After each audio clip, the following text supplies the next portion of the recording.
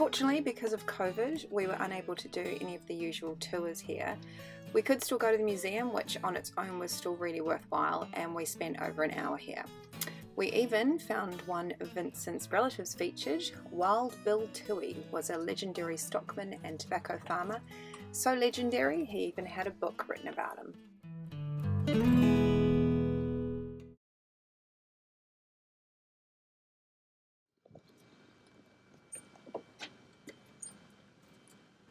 This is how my wife dresses when she goes camping. It's her camping outfit. Or, It's just constantly a whole load of nothing. Not even trees anymore. Vincent cooking himself up some snags on the barbie.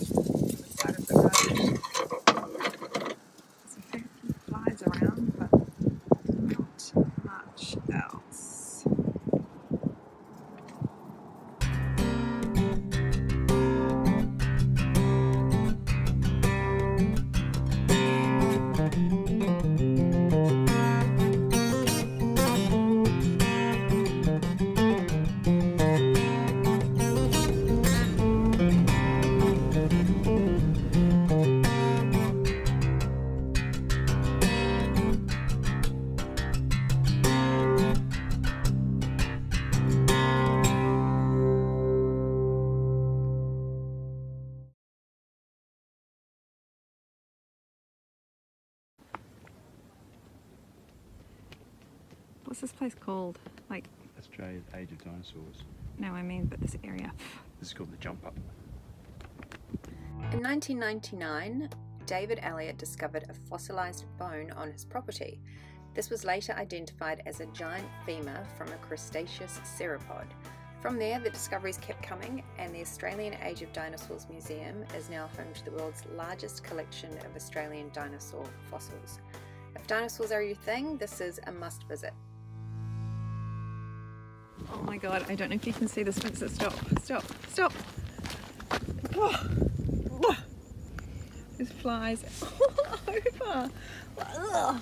The reason I keep doing this is because they keep flying in my bloody ears. It's disgusting. SOS.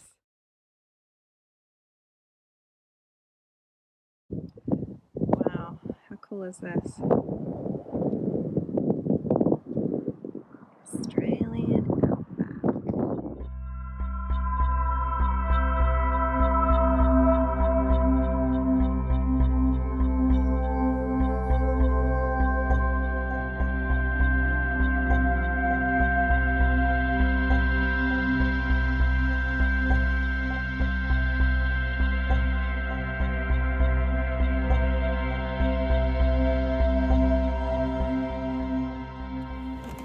We've come to a pretty cool spot called the Pinnacle Rock Formation. We can't really go any further because it's a little too off-road for Molly to handle. Um, but if we hadn't already booked somewhere tonight, we'd probably stay here. Obviously, people do. There's camp spots everywhere. And this is obviously what was once a river, stream, creek, Creek. completely dry.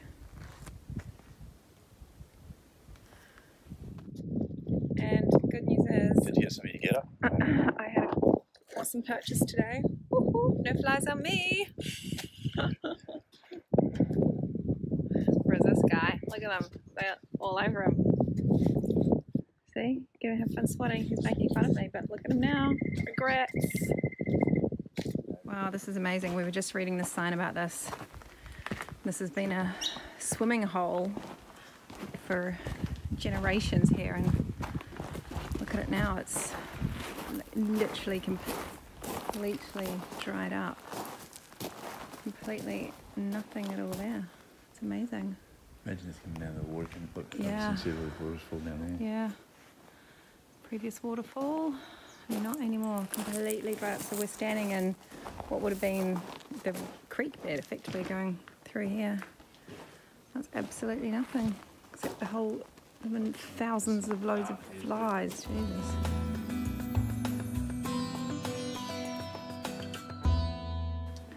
There's some pretty cool uh, original Aboriginal art in here, and then you've got other people who obviously in 69 and 50 didn't know much better than to make their own name over it.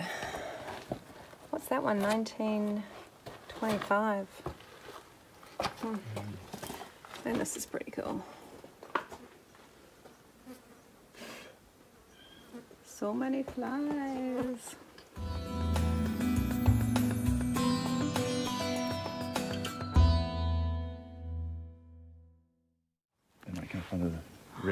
I see them, I see them. Wow, look at them go. It's so cool. He's going around the corner. Yeah. We might catch Oh, how you liking them flies, bro? mm, They're very annoying. Oh, so gross. Oh. I mean, I'm sure I'm not much better. How do I turn this camera around? I mean, they're all over my face, aren't they? I just know it. Well, not my face, Yeah, but this thing. Yep, I have it right over your neck. How disgusting. Thank God I've got this thing on. Oh, look at them. They're just everywhere. Oh, oh it's a swarm. These would be on my face. Sounds like I'm in a beehive. Ugh.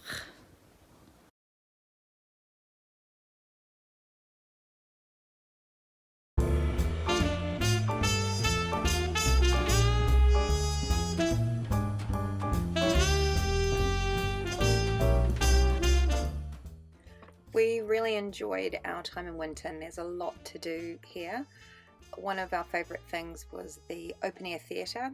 Originally built in 1918, one of only two left operating in Australia, and has been owned by the Everett family since 1937.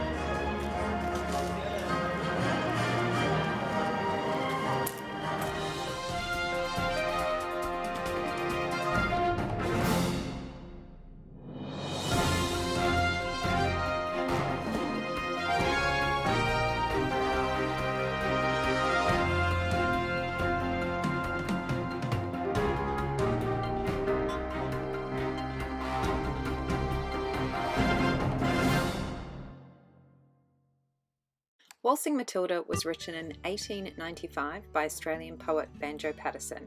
It was later put to music in 1903. It is often described as Australia's unofficial national anthem and has had at least 500 different versions of it recorded.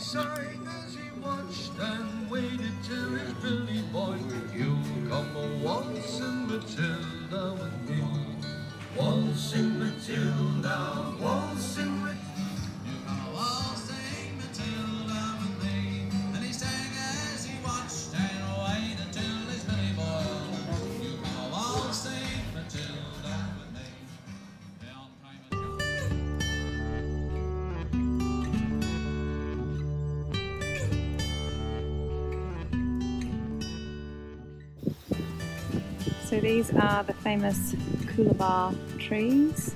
What's this, what's this song? What's, what's the Jolly Swag Man? Campfire Billabong under the shade of Coolabah tree. There we go, the billabong's just over there. If there's any water in it, that is. But these are all Coolabah trees.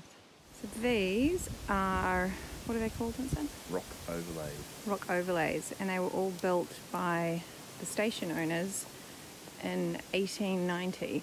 And each sort of river that you go across has got these little bridges almost. But they were designed to, Keep the water in the billabong for longer after the rain. yeah, pretty cool.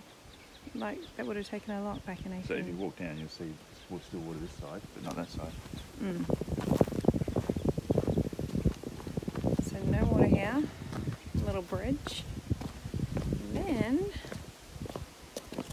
you have the water or the billabong under the shade of the coolabah tree.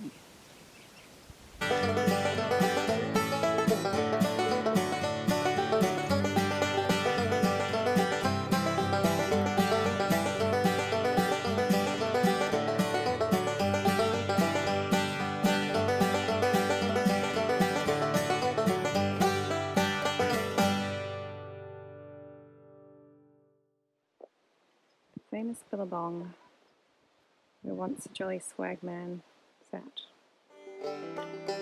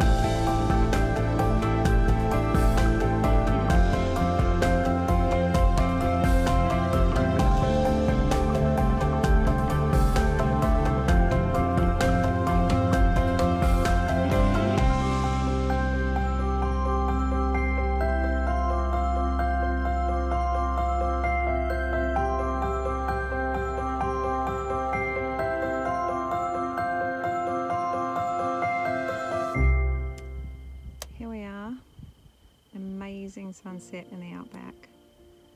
This is totally unfiltered, it's ridiculous. It's probably not going to come up like it is in real life, but it is just amazing. It is just us And a couple of sheep. and a couple of sheep. But it's pretty amazing. Like nothing. Just an amazing sunset and us.